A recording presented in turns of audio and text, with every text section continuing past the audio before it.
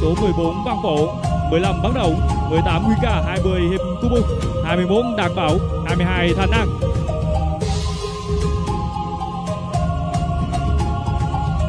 một tình huống từ danh sách đăng ký của các cầu thủ bên phía đội bóng MSC và đó là pha lập công của cầu thủ mã số 17 Tài Đức.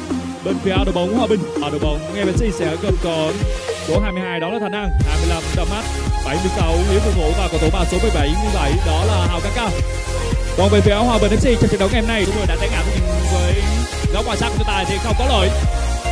Cơ hội phản công dành cho MNC một đường truyền cao kia nhưng nó không quá khó để cho thủ thành Subo có thể bắt bay Nguy hiểm đã tạm thời trôi qua.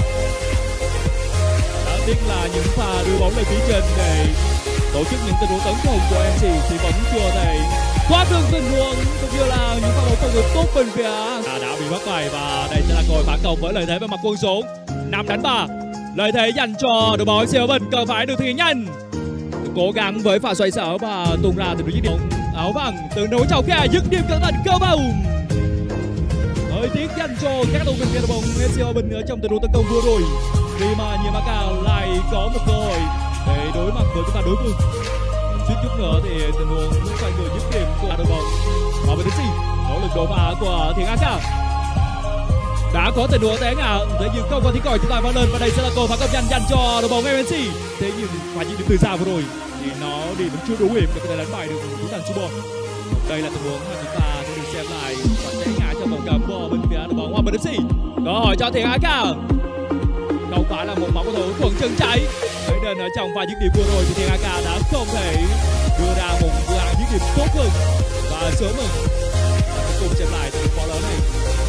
Trả bóng lại là cả cái vực dành cho và trọng tài là sẽ có rồi.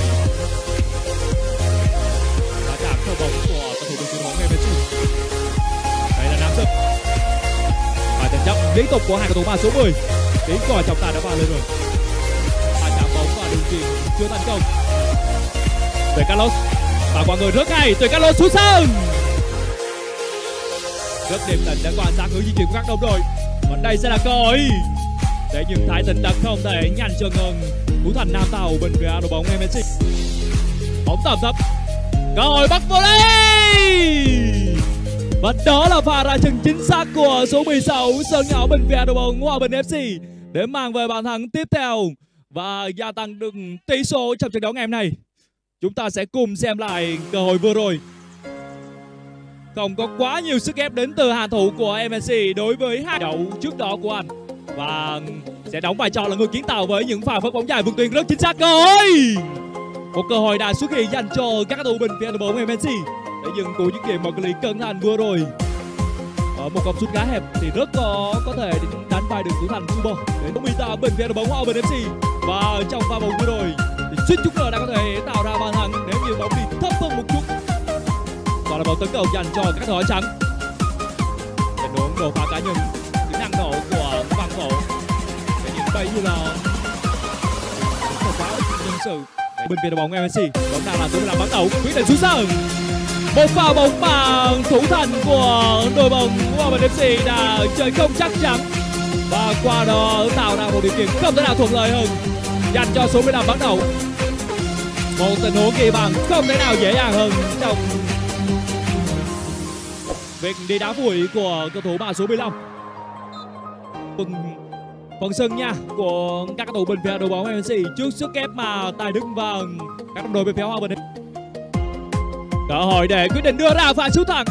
Thế nhưng đã có một sự bọc lót khá hợp lý. Một cổ động viên cuồng nhiệt của cameraman vẫn đang có mặt ở trên sóng livestream và trong tình huống tấn công vừa rồi, thì Quang trung cũng là người đã mang về bàn thắng cuối cùng ở trong những giây cuối cùng ở trận đấu thứ nhất này để giúp cho MNC Hãy cùng xem lại phần thắng vừa rồi của số 10 Quang Chuẩn trước khi đến với phần trang gian lòng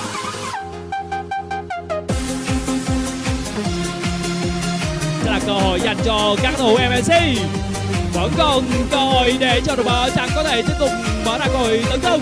Đường chuyền căng ngang thế nhưng thủ môn Subo đã có một pha Quang Junior ờ, và chút ờ, chút nữa rằng có thể tạo ra được sự nghiệp. Còn đây là pha bóng chúng ta sẽ được xem lại cơ hội dứt điểm của Thoảng Junior. Rất gọn gàng và sau đó là xoay người dứt điểm cực nhanh của Thành Hằng để mang đến sự bất ngờ. Nhằm tốt cho và đó là pha dứt điểm chuẩn xác của Trung Sơn của cầu thủ bảng số 16 và bàn thắng thứ ba dành cho các cầu thủ áo trong trận đấu đầu ngày hôm nay.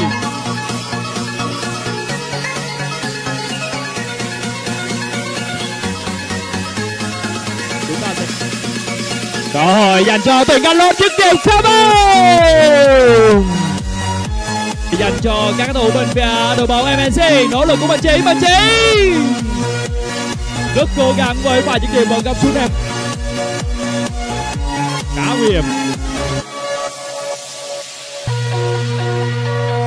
và xử lý rất kinh nghiệm của nhiệm Nam Sơn đã tìm kiếm khoảng trống rồi cho Nam Sơn. Chào khen khá nhanh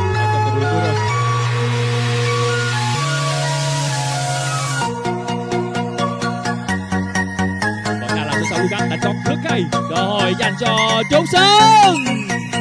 Băng bộ lề rất tốt và cực kỳ chuẩn xác của những ta là giao sút lại chưa được sự hợp lý.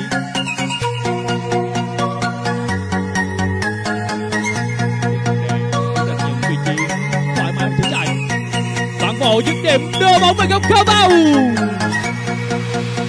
lại một một tình huống mà trước đó thu Sơn đã xoay sở cho phá khá được cơ hội tạm thời trôi qua rồi. Chúng ta sẽ cùng xem lại pha bóng mà số 76 Nguyễn Bùng Ngộ đã gây ra áp lực đủ tốt để chúng ta thời tình huống lũ người rất tốt của Tài Đức. Đội bóng căng ngang cao bao một pha bóng mà chỉ cần hai cầu thủ bên phía đội bóng Hòa Bình FC thôi cũng đã có thể gây ra được một sóng gió thực sự nguy hiểm và rất lớn về những bàn của đội bóng FC rồi. Và nếu như chắc chưa, thủ môn Nam Tàu đang chơi khá hay ở khoảng nửa sau của hiệp thi đấu thứ thế nhưng mà lúc này đã có lỗi kéo người cầu thủ của cầu thủ của đội bóng MSC là một quả đá phạt cố định. Cũng đã đi vô xa. Được cố gắng vừa rồi là của UPP số 13 đã có một khoảng không gian và thời gian tốt để đưa ra